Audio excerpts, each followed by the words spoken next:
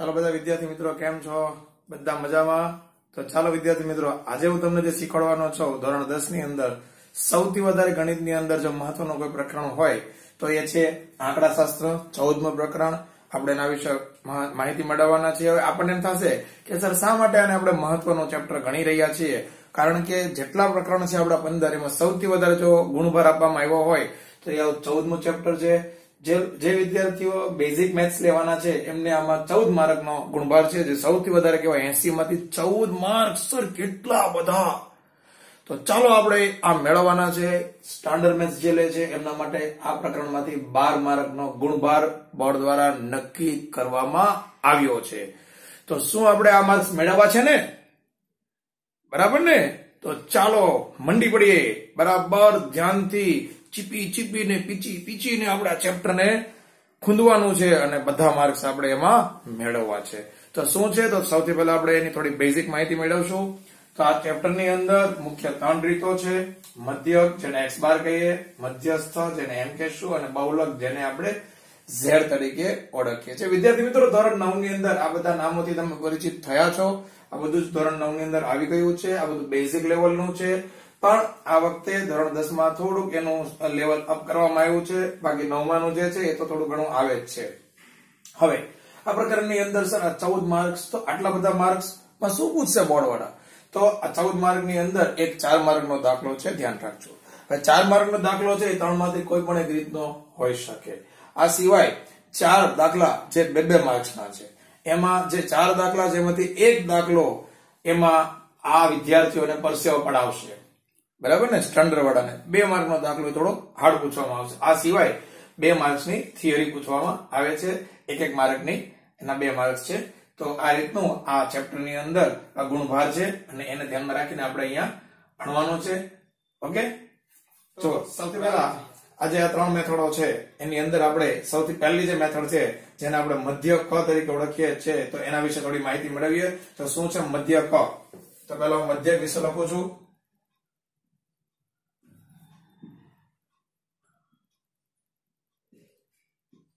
જેને આપણે x bar તરીકે ઓળખશું. વિદ્યાર્થી મિત્રો, આની અંદર બે પ્રકાર છે. એક પ્રકાર છે જે તમે ધોરણ નવની અંદર આગળ ભણી આવ્યા છો, જેને કહેવામાં આવે છે અવર્ગીકૃત. અને બીજું જે નામ છે એને કહેવામાં આવે છે વર્ગીકૃત. હવે ઘણા બધા વિદ્યાર્થી મિત્રોને એમ થશે કે આ વર્ગીકૃત એટલે શું અને અવર્ગીકૃત એટલે શું?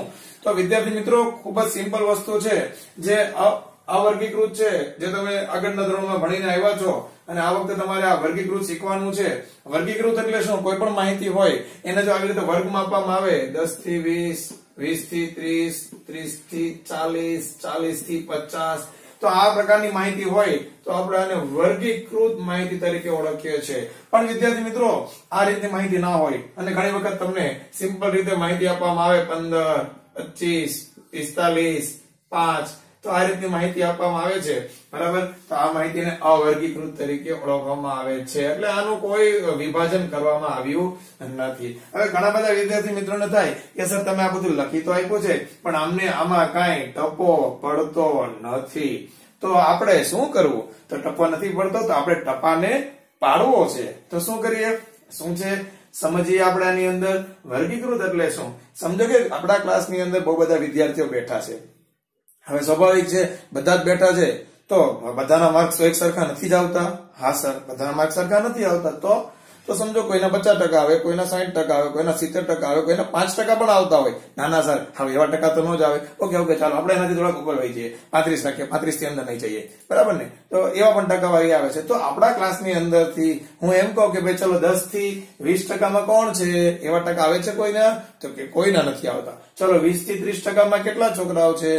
એમાં છે કોઈ? તો એમાં પણ કોઈ નથી આવતા. સર ત્રીસથી ચાલીસ? તો એમાં પાંચ છોકરા હાથ ઊંચો કરે કે સર, હા, અમારા આવે છે. પછી ચાલીસથી પચાસ, તો એમાં લગભગ થોડાક વધારે હોય ક્લાસની અંદર કે પચાસ છોકરા હોય એમાંથી વીસ છોકરા હાથ ઊંચો કરે યસ સર અમારા આવે છે. તો આવી રીતે આપણે એનું વિભાજન કરવાનું છે કે ભાઈ આટલા વિદ્યાર્થી આ વર્ગમાં આવે છે, બાકીના આ વર્ગમાં આવે છે, આ સિવાયના આ વર્ગમાં, તો એ રીતે આપણે એનું વિભાજન કર્યું છે, જેવું વિજ્ઞાનમાં પણ તમે શીખતા આવો છો વિભાજન કરવાનું. તો એ પ્રકારનું આ વર્ગીકૃત કહેવામાં છે વર્ગ બનાવવામાં આવ્યો કે ચલો ભાઈ ક્લાસની અંદર હાઇટની પ્રમાણે જોવા જઈએ, તો કે ભાઈ ત્રણ ફૂટની હાઇટ વાળા કેટલા છે, સાડા ત્રણ ફૂટની હાઇટ વાળા કેટલા છે, ચાર ફૂટની હાઇટ વાળા કેટલા છે, સાડા ચાર ફૂટની હાઇટ વાળા કેટલા છે, તો એ કઈ રીતે બને? તો કે ભાઈ ત્રણથી સાડા ત્રણ સાડા ત્રણથી ચાર ચારથી સાડા ચાર સાડા ચારથી પાંચ, એ રીતે વર્ગીકૃત કરવામાં આવ્યું છે. પણ આ સિવાય અવર્ગીકૃત માહિતી એટલે શું? બરાબર કે જેનું કોઈ વિભાજન નથી કરવામાં આવ્યું. જેમ કે આપણે ક્લાસની અંદર દસ વિદ્યાર્થીને ઊભા કરીએ અને દસેને વિદ્યાર્થીને પૂછે ભાઈ તારા બોલ કેટલા ટકા આવ્યા છે, તારા કેટલા ટકા આવ્યા છે. સમજાય છે ને? તો એ રીતે જે માહિતી આપવામાં આવે, તો એને અવર્ગીકૃત કહેવાય છે. તો આ રીતની માહિતી અહીંયા આપણને આપવામાં આવી છે. તો આ બે વસ્તુ અહીંયા આવે છે. અવર્ગીકૃત માહિતી અને વર્ગીકૃત. તો સૌથી પહેલા આની અંદર શું કહેવા માંગે છે એના મેં તમને સમજાવવાનો પ્રયત્ન કર્યો છે. એક્ઝામ્પલ આપીને. હવે જે અવર્ગીકૃત માહિતી છે, એ બધા જ મધ્યક જ છે. પણ આ મધ્યકના બે પ્રકાર કરવામાં આવ્યા છે. હવે જો અવર્ગીકૃત માહિતી છે, તો એના માટે એક સિમ્પલ સૂત્ર આવે છે. જેને આપણે સિગ્મા એક્સઆઈ ના છેદમાં n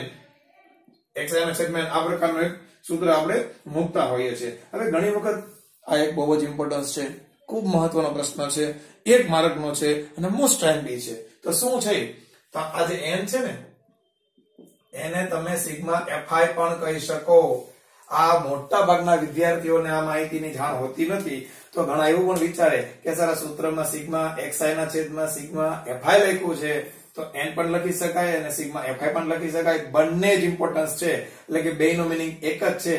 પરીક્ષામાં ઘણી વખત તમને આ રીતે કન્ફ્યુઝ કરવામાં આવતું હોય તમે અહીંયા જોયું આ વર્ગીકૃત માહિતી છે. એની અંદર એક્સ એક્સ બાર બરાબર સિગ્મા એક્સઆઈ ના છેદમાં એન લખાય અથવા એનની જગ્યાએ એફઆઈ પણ લખી શકો છો.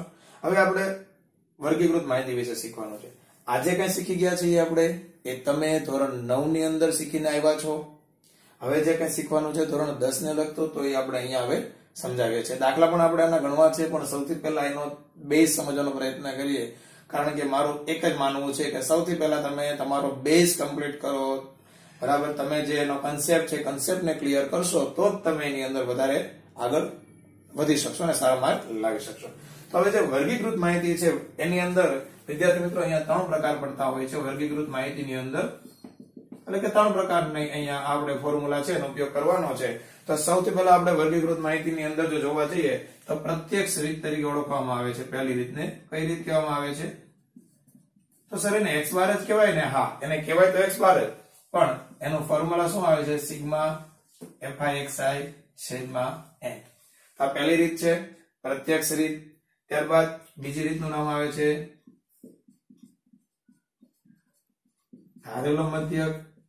બરાબર? હવે ધારેલો મધ્યક છે એટલે સ્વાભાવિક છે, એમાં કઈ ધારવાનું છે, તો આપણે એ તરીકે ધારીએ છીએ ને એક્સઆઈ ની જગ્યાએ ત્યાં શું લાગે છે સૂત્ર?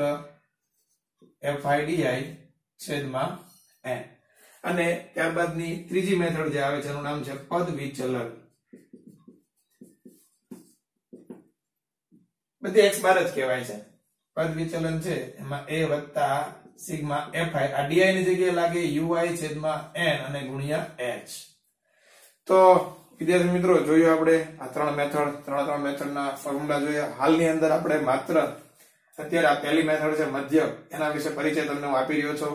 ત્યારબાદ મધ્યસ્થ અને બહુલક. આની અંદર તો વધારે કોઈ ફોર્મ્યુલા આવતા નથી. બેઝિક જ ફોર્મ્યુલા આવે છે, પણ આ મધ્યક છે પહેલું. એમાં વધારે ત્રણ રીત આવે છે. હવે સૌથી પહેલો પ્રશ્ન ઘણા બધા વિદ્યાર્થીઓને થાય. એ સર ત્રણ રીતો આપી છે. તો આપણે કઈ રીત ગણવી આમાંથી બોર્ડની અંદર? તો જનરલી બોર્ડની અંદર ક્યારે કોઈ મેથડ તમને કહેવામાં આવતી નથી કે ફરજિયાત આવી રીતે ગણો. પણ ક્યારેક તમને કહી દેવામાં આવે. તો જ્યારે કહેવામાં આવે, ત્યારે તો તમારે ફરજિયાત જે રીત કીધી હોય તે જ ગણવી પડે. સમજો કે તમને એમ કીધું છે કે પ્રત્યક્ષ રીતથી ધારેલો મધ્યક શોધો, તો તમારે ફરજિયાત એ શોધવો પડે, નકર એના માર્ક્સ ધ્યાનમાં લેવાતા નથી. પણ જો ન કીધું હોય, તો તમને જે રીત સારી લાગે, એ રીતે તમે દાખલો ગણી શકો છો. મારી જો તમે મને પૂછો કે, સર, કઈ બેસ્ટ મેથડ છે? તો હું આને બેસ્ટ મેથડ કહીશ. પદ વિચલન. સૌથી સારી અને સૌથી મજા આવે એવી અને બધામાં ઉપયોગી થાય. તો આ ત્રીજી મેથડ ખૂબ મજા આવે એવી છે. હા, થોડી લાંબી છે, પણ દાખલાની ગણતરી સરળ થઈ જાય. તો જોયું આપણે, ફરીથી જોઈએ એકવાર. ત્રણે ત્રણ સૂત્રમાં શું ડિફરન્સ છે? પ્રત્યક્ષ રીત છે. એમાં સિગ્મા એફઆઈ એક્સઆઈ છેદમાં એન છે. જ્યારે ધારેલો મધ્યક છે, એટલે એમાં ધારવાનો આ એ ધારેલો છે. અને આ એક્સઆઈ ની જગ્યાએ અહીંયા ડીઆઈ આવે છે. ડી અને ધારેલો. અને પદ વિચલન છે એમાં એ તો આવશે ધારેલો. પણ સાથે યુઆઈ આવે છે. બરાબર? ડીઆઈ ની જગ્યા પર અને લાસ્ટમાં એચ આવે છે.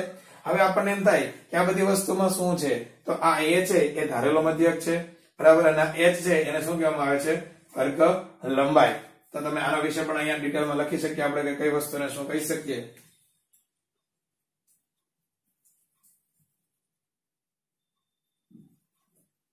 ખૂબ જ મહત્વનું અને અગત્યનું આ ચેપ્ટર સૌથી વધારે માર્ક્સ તો વિદ્યાર્થી મિત્રો વધુ ને વધુ આ આ જે વીડિયો છે એને તમે જોજો.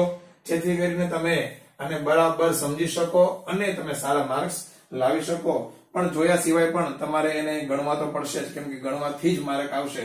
હવે આપણે બધા વિશે થોડી માહિતી મેળવીએ કે આ બધું શું છે સાહેબ એક્સઆઈ ને એફઆઈ ને.